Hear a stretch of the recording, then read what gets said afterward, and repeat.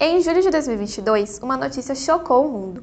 Um casal estadunidense foi condenado após o filho de um ano e meio, que seguia uma dieta vegana extremamente restritiva com apenas frutas e vegetais crus, falecer de fome e desnutrição. Casos assim são extremamente chocantes e deploráveis e nos mostram a importância da atenção à alimentação infantil adequada e bem planejada. Sabemos que neste caso específico, a maior causa do falecimento foi a negligência dos pais, que não forneceram quantidade de alimentos suficientes e não diversificaram a alimentação da criança. Ainda assim, fica a dúvida: será que o veganismo é realmente adequado para crianças? Mesmo com acompanhamento profissional, planejamento, diversificação, esse padrão dietético dá conta de suprir todas as necessidades dessa faixa etária? Continue assistindo a esse vídeo que eu vou te explicar.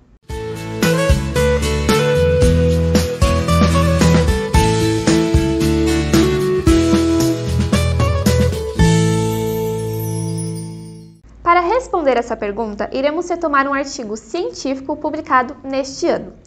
Um estudo transversal realizado na Alemanha propôs-se analisar a ingestão dietética e o estado nutricional de 430 crianças na faixa etária entre 1 a 3 anos de idade, pertencentes a três grupos diferentes: as onívoras, as vegetarianas e as veganas. Em relação às vitaminas, as crianças veganas tiveram a maior ingestão, principalmente de vitamina E e vitamina B12, que neste caso era suplementada. Elas também possuíam maior ingestão de potássio, magnésio e ferro, enquanto as crianças onívoras consumiam mais cálcio e iodo. Sobre as gorduras, as veganas foram as que apresentaram um melhor perfil dietético de lipídios, porém com baixa ingestão de DHA, que está presente nos peixes gordurosos.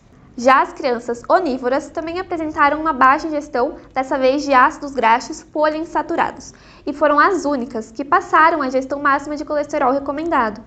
Apesar de alguns nutrientes deficitários na alimentação das crianças vegetarianas e veganas, os autores concluíram que a ingestão nutricional deste grupo ela foi até melhor do que a das crianças onívoras, mostrando que essa alimentação ela pode sim fornecer uma qualidade nutricional capaz de promover um crescimento saudável. Diversas instituições já se posicionaram a favor do vegetarianismo na infância, inclusive a Associação Dietética Americana e o próprio Ministério da Saúde, no Guia Alimentar para Crianças Menores de 2 anos. Neste guia é ressaltado a importância do acompanhamento de profissionais de saúde que monitorem o seu crescimento e seu desenvolvimento também, assim como a sua ingestão adequada de nutrientes. Então, a mensagem que fica é: sim, é totalmente possível criar uma criança vegana Porém, as condições devem ser muito bem planejadas e um acompanhamento profissional é imprescindível. Na legenda desse vídeo, deixamos o link do Guia Alimentação Vegetariana para Crianças e Adolescentes, além do link da pesquisa alemã citada anteriormente. Se você gostou desse conteúdo, inscreva-se no nosso canal e acompanhe nosso site para não perder nenhuma novidade no mundo da nutrição. Até a próxima!